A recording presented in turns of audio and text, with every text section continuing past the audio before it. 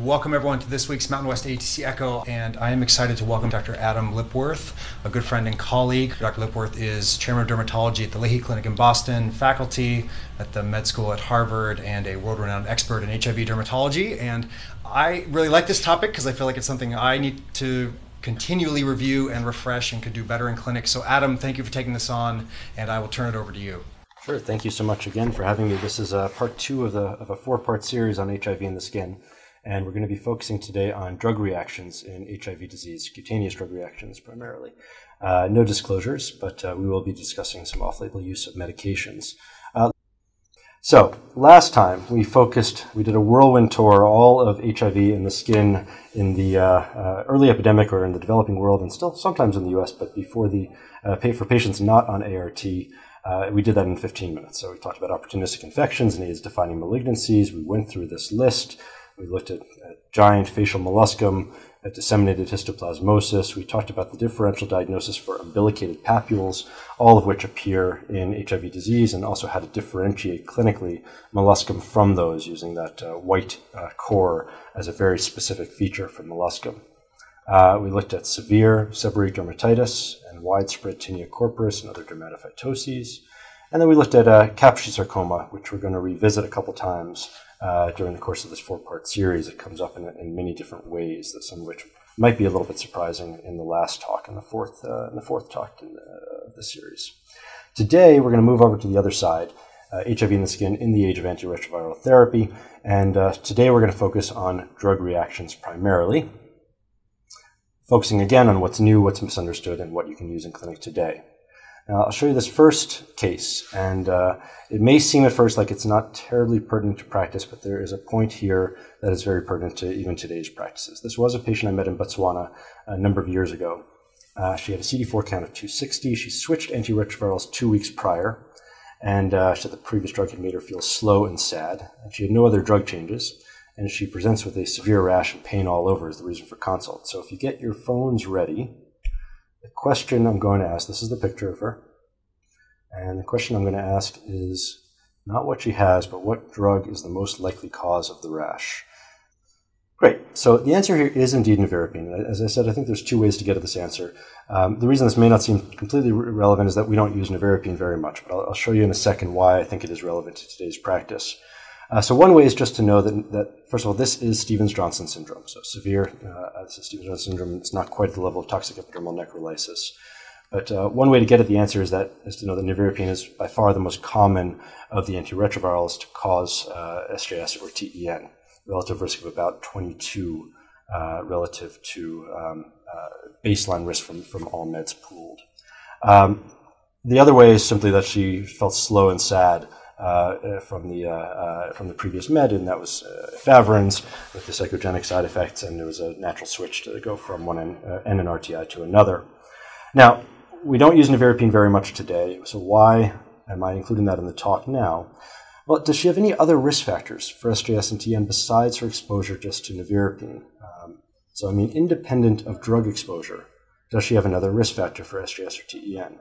Specifically, after you control for the difference in medication exposures, does advanced HIV disease correlate with a higher or lower risk of toxic epidermal necrolysis? So, is it lower in that if your CD4 count is low, you can't make uh, TEN as easily, uh, so it's protective? Or is it higher, that the low CD4 count appears to be a risk factor for TEN? Or neither. The risk of TEN is determined by the drug exposure alone. These patients are exposed to more uh, culprit drugs, and that's why they get it more frequently only. So she does have a risk factor for SJS, and it is actually AIDS. So if you take a, this was a large German uh, cohort, 1993. It's old, but it was done well. Uh, they found about a thousand-fold increased risk of SJS and TEN, and it was not fully accounted for by increased drug exposure. So it was not entirely because of the drugs that they were exposed to. Now they all were exposed to drugs that caused it, but that did not account for the entire increased risk over the general population who are exposed to those same drugs. And more recently, the likely mechanism has been delineated. Um, this is by one of my colleagues, Dr. Saavedra, who I uh, used to be at the Brigham. He's now in Virginia, uh, and with a, a, really wonderful group in Durban, South Africa. Uh, they found that depletion of the skin homing CD4 positive, CD25 positive T regulatory cells in the skin allows for unchecked effector action of the uh, effector CD8 positive action, and that's actually the effector of TEN. So as the CD4 count declines, the uh, risk of TEN actually goes up. So the peripheral blood CD4 count does seem to correlate with this depletion of, the, of these the CD4 positive, CD25 positive uh, cutaneous T regulatory cell population as well, and those seem to be protective against TEN. So as the CD4 count declines, the risk of TEN goes up. So we see TEN and SJS a lot in these patients with low CD4 counts, uh, often in Southern Africa from nevirapine, but also from sulfa drugs, from other antiretrovirals, and then from other medicines that they may be on anyway, independent of their HIV, like allopurinol is a very common one as well. Uh, other antibiotics besides sulfa agents too. So these are all cases of SJS and TEN. This was another nevirapine-induced one in a pregnant woman when uh, it was fairly standard to switch to nevirapine for pregnancy at the time. So that's a quick uh, whirlwind tour of SJS and TEN. Um, I'm going to ask you what this is in just a moment. This is, actually, I'm not going to tell you anything else about this case, these cases. These two are obviously different patients. They're not related to each other in any way, but they have the same rash, and you can see very similar features. So if you get your phones ready, is this a fixed drug eruption, erythema multiforme, acute generalized exanthematous pustulosis, or AGEP, drug-induced lupus, or linear IgA bullous dermatosis? Blinded here.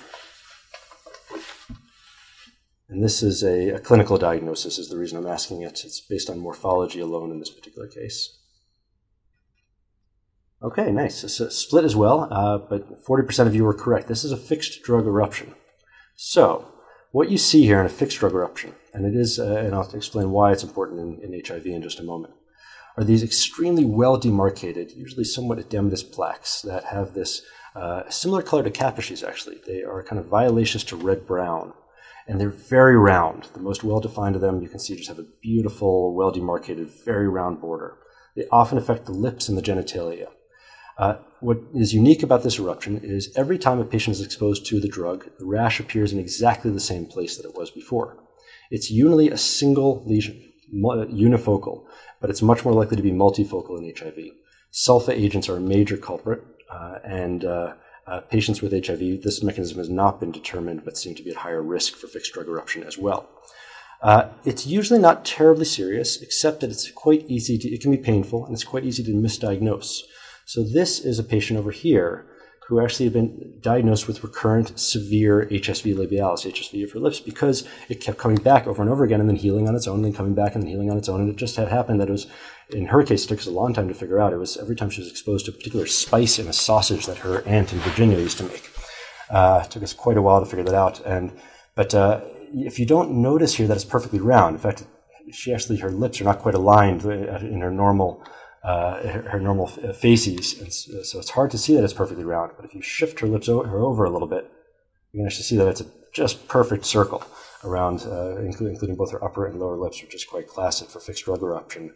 And that's how we got to the bottom of this. But it's not uncommon for this to be misdiagnosed as severe recurrent HSV of the lips.